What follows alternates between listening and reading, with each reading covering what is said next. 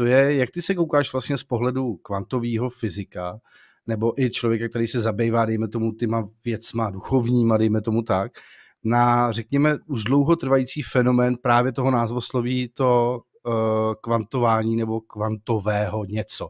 Hmm. Protože mám pocit, že skoro každý může u, u, jako uplít z hovna byč, jak se říká, když tomu dá ten prostě, že to je něco kvantového, jo. A může to být vlastně téměř cokoliv. A jakoby uměle něčemu, co třeba nemá váhu nebo hodnotu, nebo takovou jako všeobecnou, tak tím, že tomu dá ten termín, že to je kvantové, tak tomu jakoby přidá něco jako navíc a lidi jsou z toho, nebo bejvali, protože to už je dlouho tady, že jo ale pořád to neustupuje, že to jako lidi mám pocit až jako zneužívají ve vlastní prospěch, že pojmenují něco, že to je kvantového, ať se třeba o nic kvantového jednat jako nemusí, anebo že to sami mají tak jako, nevím, spíš teoreticky. Co si o tom myslíš? Určitě víš, o čem se bavím. No.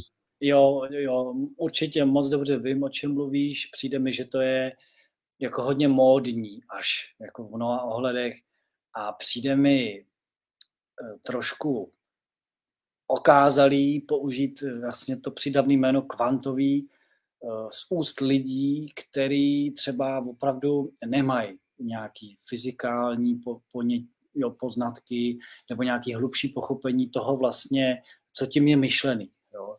A skutečně dneska hrozně moc lidí v té sféře ezoteriky a seminářů a osobního rozvoje jako rádo prostě pojmenovává svoje programy nebo části jako vlastně, že jsou kvantoví a v mých očích je to takový laciný, jo, protože vlastně je to, každý ho to hnedka zaujme, ono to jako zavoní tou vědou, ono to zavoní jako vlastně tou fyzikou a že je to něčím jako lepší nebo propracovanější než cokoliv jiného.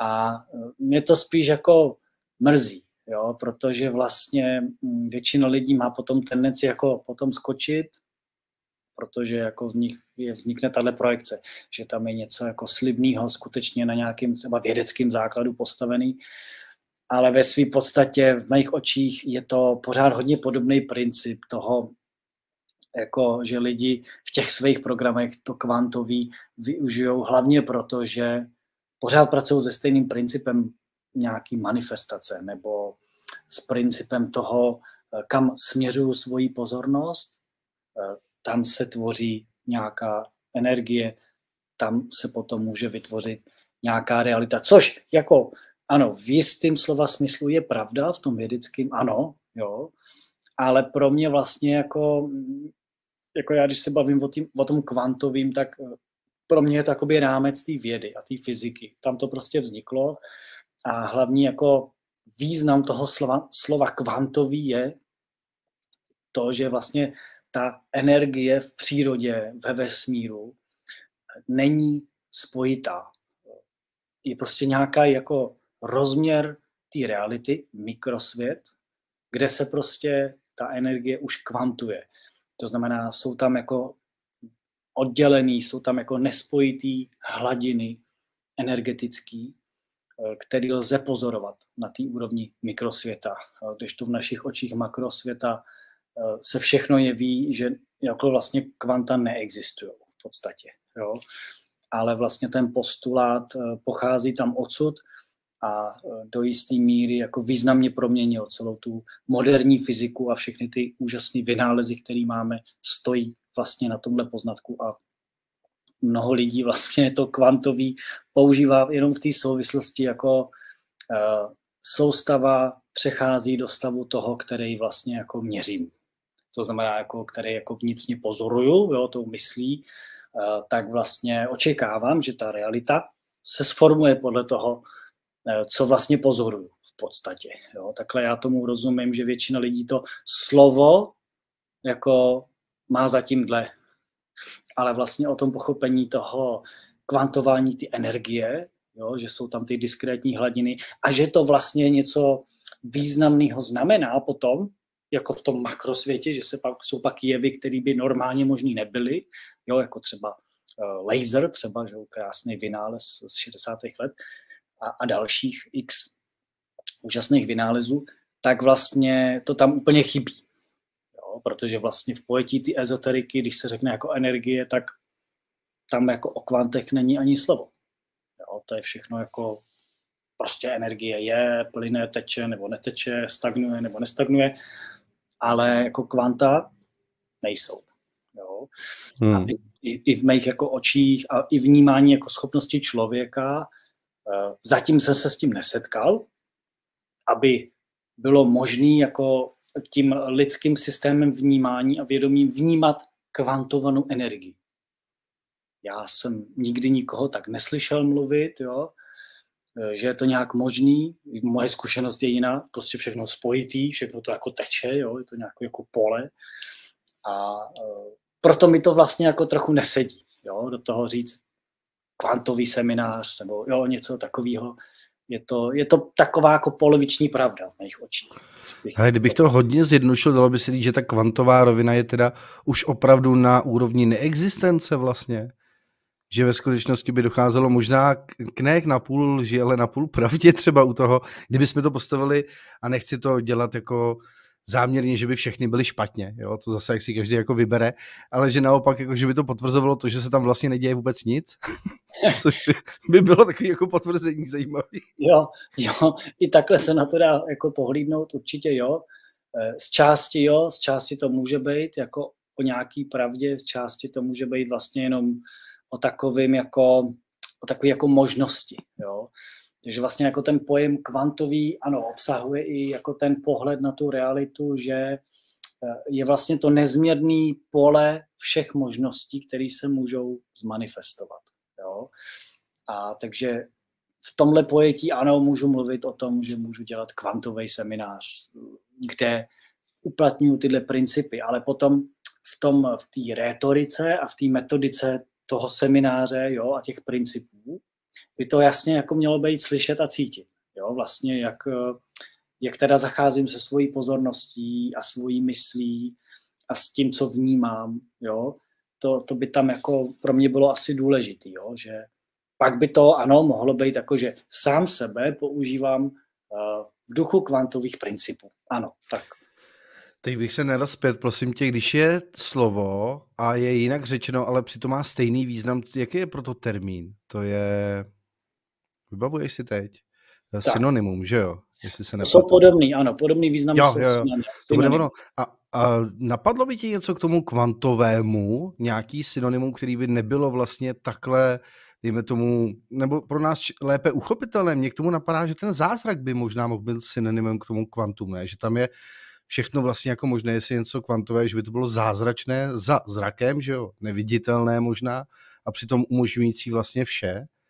Mohlo by to být, nebo ti napadne? Jo, jako v tomhle pojetí, když bych to vzal takhle jako mysticky a řekl bych, že jako z hlediska kvantové fyziky a kvantové vědy je prostě pravděpodobnost všech možností rovnocená a záleží od toho vědomí, která z těch možností vlastně bude jako vybrána do toho, že se to takzvaně skolabuje, jo, že se z toho stane ta událost vnímatelná, tak zázrak nebo zázračný skutečně by mohlo být, jakože, protože jsme na něco zvyklí, co se běžně, opakovaně nebo v nějakých podobnostech může stát a můžeme prožít, ale zázrak je jako z kategorie jako kde se to vzalo, nebo jako jak je to možné. Jo? Takže skutečně že jo, pojem kvantový skok se taky používá, jo? že vlastně jsem v nějakém stavu a najednou hup, všechno je úplně diametrálně jinak, odlišně a přesto je to platný, tak ano, slovo zázrak vlastně je docela docela trefný v tomhle duchu. To s tebou souhlasím. To, to jsem rád, že jsem se trefil. He, takže s tomu dobře rozumím, jen tak jako laicky, samozřejmě já tomu nemůžu rozumět stejně vědecky jako ty, ale za předpokladu teda té kvantové fyziky, tak tam nejsou nějaké jako věci, které by byly pravděpodobnější v tom uskutečnění. Vlastně, že se zítra ráno probudím, já jako člověk, jo, v tomhle fyzickém těle a na tom místě, kde půjdu usnout, tak z hlediska kvantové fyziky je úplně stejná pravděpodobnost, jako že se druhý den probudím jako mýval. Jo? Z pohledu té kvantové fyziky. To, že jsem šel spát jako ten Jarda, pro tu kvantovou fyziku nemá nějaký jako význam. No, kdybych to byl úplně jako, kdybych to bral fakt úplně hypoteticky, teoreticky, tak jo. Jo, ta pravděpodobnost, to, to jako, ta pravděpodobnost toho, že eh, to vědomí se uspořádá nějak jinak, je prostě jako, řeklo by se fyzicky nenulová, jo? prostě nějaká je, není nulová, je nenulová. To znamená nějaká šance, byť malá třeba, jako vlastně existuje. Jo? Že se věci odehrají úplně, úplně diametrálně odlišně, ale samozřejmě ten, ten otisk jakoby v tom vědomí, který je vlastně občištěný v té fyzické reprezentaci v mozku a v těch drahách a v tom jako návyku, jasně převáží, jako že jak to bude jako druhý den. Jo? A I pro to vědomí by to byl vlastně jako obrovský kvantový skok, že by se ráno probudil jako mýval. Já jsem to chtěl, hele, já to ještě víc zašmodrchám, aby to bylo podle mě přesnější. To ještě není daný, že bych se já probudil jako mýval, ale mý, mýval by se zítra mohl probudit jako já. Nebo. aby tam byla ještě jedna rovina navíc. Přesně tak, přesně tak, jo. To, to už je jako hezký filozofování o tom mm, a já vlastně pro sebe vždycky mám uh, takový jako porozumění do jisté míry, že vlastně to vědomí jako takový, který v tom kvantovém pojetí je ten primát, to je to jako to nad, nad vším a za vším, z čehož vlastně všechno vyvěrá, uh, tak skutečně jako to, že řeknu, že já jsem já tady jako tahle bytost, osobnost, tělo, tahle ten soubor vitálních morfogenetických polí a ty seš zase jako jiná forma a každý člověk je jiná forma eh, toho vědomí, anebo kámen, anebo strom, jo, ale vlastně pořád primát je stejný. Všichni pocházíme, nebo jo, všechno jsou to jako různé formy jedné věci a to je vlastně to nezměrné vědomí. A tudíž vlastně eh, potom, eh, potom tyhle ty jako hranice najednou jako padají. Vlastně všechno je jako jedno vědomí a já jsem kulturně, sociálně naučený vědomí si říkat tak, jak si říkám, vnímat se jako nějakou jako jednotku, jo, ale jako v čisté rovině toho vědomí to tak vůbec nemusí být. To je jako jedna z možností. Jedna z možností, že tomuhle jako říkáme Václav Němeček a, a nějak tomu jako, nějak se v tom jako zorientujeme prostě. Jo. Skvělý. Pojďme se ještě teda chvilku udržet u vědy, já tady zase z pozice lajka a ty z pozice, dejme tomu toho věce, pokud se tak můžeme charakterizovat pro to dnešní vysílání třeba. Já jsem právě nedávno narazil na, na fenomén nebo termín, nebo já nevím, jak to vůbec pojmenovat právě jakoby červí díry, nebo černé díry, nevím, jestli to je to tež, jestli to je to synonymum v tomto případě, jenom jako jiný název pro tu samou věc, která je myšlena. A je to věc, kterou jsem vlastně jako vyrůstal o vědomí existence něčeho takového vlastně celý život. Jo? Furt slyšíte, že o tom nebo furt. Zaslechnete, že něco takového existuje, často se to tak někdy jako ukáže. A já jsem si pustil nějaký opravdu jako asi selským rozumem natočený nějaký jako dokument o tom nebo něco takového, kde to možná i pro toho lajka bylo opravdu jako uchopitelné, což je super pro mě, jo, protože kdyby to bylo vysloveně nějak jako vědecky, jak se úplně ztratím, ale jako nějaký takový jako záchytný body toho, co by to teda mělo být, kde to teda možná nějak jako je nebo není současně a co by se eventuálně dělo, kdyby se člověk do toho prostoru dostal, tak mě fakt jako fascinovali, jo, protože říkám, hmm. pokud je ochoten v něco podobného věřit člověk, který by byl i, dejme tomu, jako vědeckého zaměření a tohle mu dávalo smysl, to, o čem se tam hovoří a opravdu to vycházelo z těch vědeckých jako nějakých publikací nebo závěrů. Tak říkám, ale oproti tomu celá ezoterika sakum prdům je jako skoro nic jo, v, rámci, v rámci uvěřitelnosti toho, že by něco takového někde mohlo existovat. A to, co popisují, se tam současně mohlo dít, jo, protože to je paradox vedle paradoxu. Jo, že gravitace je taková, že to přitahuje nejenom veškeré světlo, ale i čas. Mm. Jo, že tam v určitý moment toho průletu je ne pravděpodobné, ale z toho podání vlastně téměř jisté, dokonce v kterém bodu, že potkáš sám sebe. jako, ne, ne odraz, ale sám sebe prostě. Jako. A další a další a další věci. Říkám, ty brďo, jako, tohle jestli jako vytáhne nějaký vědec, že takhle to jako je, tak jak pak může jako kejvat hlavou nad, nad, nad něčím, já nevím, energi- no vůbec nevím nad čím, jako s čím to srovnat, jo.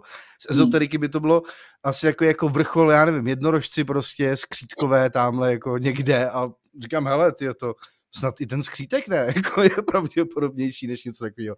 No, Jak ty na to vůbec koukáš, co to pro tebe znamená a vůbec věříš v něco takového, jako červí nebo černý díry? Eh, já upřímně eh, vím o tomhle tématu spíš okrajově. Eh, ta astrofyzika a to, ta její aplikace s tím kvantovým rozměrem je pro mě taková spíš jako vzdálená, nikdy jsem se tím dohloubky nezabýval, ale v mých očích vlastně je to hodně filozofická rovina, hodně, hodně takový rozměr jako úplného zrodu, jo, nějakého porozumění, nějaký snahy tomu porozumět. A tak, jak to většinou vlastně v té vědě a fyzice bývá. Prostě nejdřív vždycky přichází lidi s různýma filozofickými rozměrama, že si tak o tom jako povídají, jak, co by to znamenalo a přemýšlej o, to, o těch všech možnostech, jako, co by to jako mohlo přinést. Takže třeba jenom, jak si řekl, že gravitace ohýbá čas, jo, tak tomu se dokážu vztáhnout, protože samozřejmě to je, to je mm, obsahem vlastně obecné teorie relativity, kdy vlastně jako gravitace zakřivuje časoprostor, jo, jako úžasná jako představa, že jo, s kterou přišel mm, pan Einstein, eh, kdy eh, to úplně jako mění jakoby ten náhled na to, co je to ten prostor, jo, jako představit si jako třeba planetu, jak plyne v tom vesmíru, to, to ještě jako jde, ale najednou vlastně vidět to v obráceně, že vlastně ta planeta tou svojí hmotností a gravitací jako ohejbá jako ten, nějakou matrici toho prostoru. Je jako, jako úžasná myšlenka a vlastně díky tomu, když je třeba ta černá díra, která má tu gravitaci obrovskou, jo, eh, tak vlastně to světlo, které by normálně letělo přímo čaře rovně, že jo, tak vlastně tím, že to zahne ten prostor, no tak mu nezbývá, než se jako ohnout a letí vlastně jako do, do zatáčky, zjednodušeně řečeno. Jo. Tak to, to mně přijde fascinující a uh, tam si troufám říct, že už to není tak filozofický, protože to už jsou jako měřitelné věci. Jo? Ale ta červí díra, eh, to je pro mě jiný pojem, to je vlastně o tom jako prolomení toho časoprostoru, jako to, jako jo, vlezu na jedné straně obrazně a vylezu někde eh, o x světelných let, Bůh ví kde, jo, to je Star Trek prostě, eh, tenhle ten, tenhle ten svět science fiction, tak já vlastně, ano, mně se vlastně jako líbí ten tvůj názor na to, protože běžný vědec by se jako pousmál nad tím, co lidi z té ezoterické sféry vyplodějí, řekněme, a čemu chtějí a nebo jsou ochotní uvěřit, že nějak teda jako je, jo. Zatímco oni, když si teda říkají vědci, tak jsou v podstatě v počátku ve věcech, kterým je těžko porozumět, jako na podobné lodi. Jo? Prostě nějaký hypotézy, nějaká snaha ty věci nějak jako uchopit a nějakým porozumět, byť si na to nikdo nemá jak šahnout, nemá to pořádně jako ověřit vůbec. Jo? Uh, takže v mých očích je to jako prostě to lidský úsilí. Jo? Nějak, nějak to jako dá dokupy a kolikrát je to vlastně jako škoda, no, že jakoby ten vědecký svět a titul má nějaký jako primát větší autority a lidi mají vlastně přirozenou tendenci jako tomu důvěřovat. No ta autorita to řekla, když to řekli oni, tak to tak asi bude, že jo, oni se tím jako zabývají. A přitom, abych jako to přihrál na druhou stranu, je celá řada lidí naprosto bez vědeckého vzdělání, exaktního a mají jakoby tak dobrý spojení s tou intuicí, nebo mají nějaký obrovský jako otevřený dar tom vědomí, že vidějí a pochopí věci bez rozumu, prostě rovnou, jo? rovnou jakoby tam přichází celá řada jasnovidců e, úžasných, který dokážou jako vidět věci, které a ověřit to ještě v té skutečnosti, jo? to mě jako fascinuje, že nad tím doslova rozum zůstane stát, jak je to vůbec možný. E, takže můj názor je na to takový, že já vlastně jako fandím všem, ale samozřejmě chce to tu zem, jo, chce to tu nějakou jako ochotu a kapacitu říct, tady jsem jako v těžké filozofii a přiznávám si to, že prostě si o tom povídám a fascinuje mě ty možnosti, co by to mohlo znamenat a tak. A nesnažím se říct, je to takhle prostě, já stojím si za tím a budeme za tím teď jako bojovat a jo.